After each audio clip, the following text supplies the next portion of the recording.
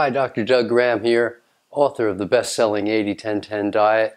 Today I want to talk to you a little bit about my own journey and what was my biggest struggle in adopting the 80-10-10 diet into my own lifestyle. And the big problem was that I didn't know where I was going. So I was wandering aimlessly. I was trying this, that, the next, all sorts of things. There were lots of options out there, Nobody was doing 80-10-10. Nobody was eating 100% raw food 100% of the time.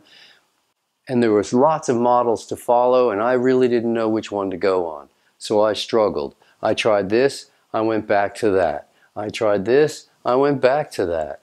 I went back and forth a lot of times. It was a long journey. It was about a 17 year journey from the time I started making small dietary changes until I finally pretty much stumbled upon 80-10-10. At the time it wasn't called 80-10-10 so I didn't even know that I'd found it when I'd found it until a few days later and a few weeks later when I started realizing how well what I was currently trying, the experiment that I was currently trying that seemed to maybe make sense finally started working so well and I go, wow, this is really good. Let me keep working it. Let me keep refining it, defining it, eventually coming up with the terminology to describe it to others, checking the nutritional science behind it and the rationale and understanding what was going on well enough to eventually write the 80-10-10 diet for you to enjoy. And the problem invariably was the same problem. I kept going back to cooked food. I kept going back to complex carbohydrates.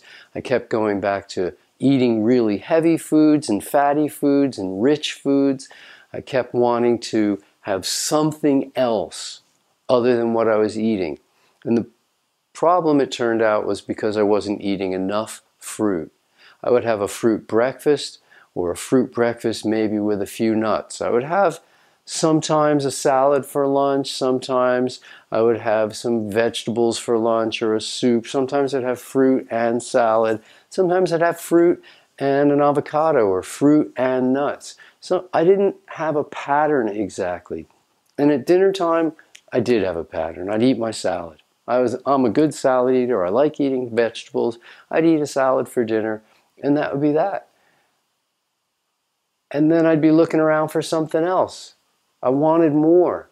And over a matter of a few days, I'd start looking in grocery store windows. I'd start looking at other foods. I'd start thinking, well, maybe a baked potato isn't such a bad thing. I'd go through that for days in my head until I'd finally eventually be driven off of raw foods and driven back to cooked. And I wasn't having a lot of fun doing that. So I added in more fruit. I started eating as a rule, fruit for breakfast, fruit for lunch. If it was daytime, I'm a fruit eater. And then my salad for dinner.